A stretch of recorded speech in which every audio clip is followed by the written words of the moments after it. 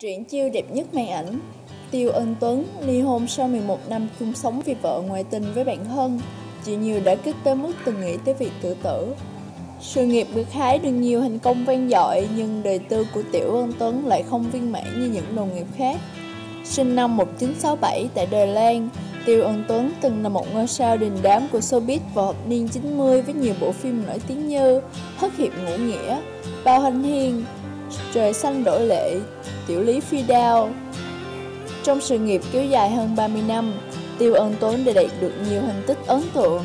Tuy nhiên anh lại không có đời tư viên mãn và lận đận như những vai diễn mà chính mình tự đóng. Cuộc đời của Tiêu Ân tốn xoay quanh hai người phụ nữ Đó là Hoàng Uyển Lâm và Lâm Hiên Ngọc. Họ mới bước chấn vào làng giải trí. Tiêu Ân Tuấn chưa gây được tiếng vang khi đó nam diễn viên đã gặp được Hoàng Uyển Lâm khi ấy, cô là một người phụ trách trang điểm cho anh khi quay quảng cáo. Hai người đã nhanh chóng nảy sinh tình cảm với nhau. Hoàng Uyển Lâm đã ở bên Tiêu Ân Tuấn khi anh chỉ là một diễn viên nhỏ trong showbiz. Cô luôn quan tâm và chăm sóc anh rất tận tình.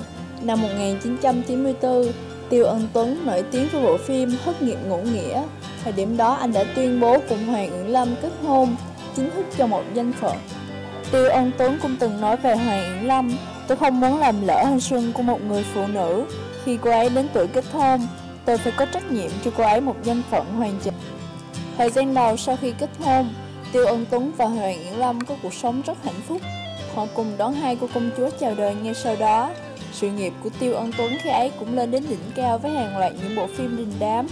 Càng nổi tiếng, Tiêu Ân Tuấn càng bận rộn và đó là lý do khi anh hiếm khi được ở bên gia đình ngay khi Tiêu Ân Tuấn tiếp tục hăng hoa với Bảo Hy Thiên Đăng. Năm 2005 cũng là lúc Hoàng Uyển Lâm đề nghị ly hôn. Sau mọi nỗ lực níu giữ vợ không thành, hai người đã chính thức ly hôn. Có nhiều nguồn tin cho biết Hoàng Uyển Lâm đã ngoại tình với bạn thân của hai vợ chồng. Điều đó đã khiến Tiêu Ân Tuấn chịu đả kích nặng nề. Mặc dù vậy, Tiêu Ân Tuấn chưa từng lên tiếng về việc này.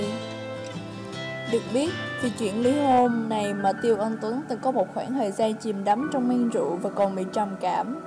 Triển chiêu đẹp nhất màn ảnh, từng có ý định tự tử, tuy nhiên vì nghĩ tới con cái nên đã cố gắng gượng. Lúc năm diễn viên 53 tuổi khó khăn nhất, Lâm Hi Ngọc đỡ bên động viên giúp anh chữa lành những vết hên lòng. Tiêu Ân Tuấn và Lâm Hi Ngọc trở thành bạn bè sau lần hợp tác phim Quân Quang và Hụt Nữ năm 1992. Khi ly hôn, Tiêu Ân Tuấn thường xuyên gọi điện nói chuyện với Lâm Hiên Ngọc. Hai người từ bạn thân đã trở thành người yêu năm 2006. Lúc bên nhau, Tiêu Ân Tuấn cũng hay đưa Lâm Hiên Ngọc cùng tham gia tiệc tùng, sự kiện. Những tưởng Tiêu Ân Tuấn đã tìm được tình yêu thật sự, nào ngờ công chúng đã rất thất vọng khi thấy anh trên mạng xã hội tỏ tình với một cô gái những đến nghi vấn ngoại tình. Sau khi bị Lâm Hiên Ngọc tra hỏi, thì Tiêu Ân Tuấn nói rằng Xin lỗi, là anh không nói rõ địa vị của em trong lòng anh Trong lòng anh chỉ có cô ấy. Lời nói của Tiêu Ân Tuấn khiến Lâm Hiên Ngọc rất đau lòng. Hai người về sau không liên lạc nữa và cô đã lên xe với nam ca sĩ Doãn Chính. Nhưng duyên phận của Tiêu Ân Tuấn và Lâm Hiên Ngọc chỉ dừng lại tại đó. Lâm Hiên Ngọc ly dị chồng rồi gặp lại Tiêu Ân Tuấn. Họ đã nói lại tình xưa và quyết định kết hôn. Giữa lúc ấy, Hoàng Uyển Lâm bỗng tố Lâm Hiên Ngọc là nguyên nhân khiến cô và Tiêu Ân Tuấn năm xưa ly hôn. Trong khi Lâm Hiên Ngọc lên tiếng phủ nhận, thì Tiêu Ân Tuấn lại im lặng không nói gì cả. thank you